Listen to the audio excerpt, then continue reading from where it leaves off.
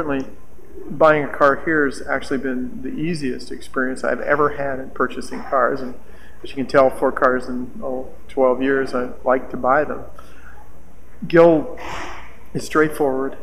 You know exactly what you're getting. You know what the prices are. You know what it's going to cost you. And there aren't any hidden games. Um, you can make a reasonable and fair decision based on, I think, informed knowledge. And he's pleasant to work with. And he's patient. And if you don't understand something or if you're uncertain, he will explain it to you. You never get a sense that you're getting sold a car. You get a sense that you're actually making an investment, a reasonable purchase, something that's fun too, and he will help facilitate that.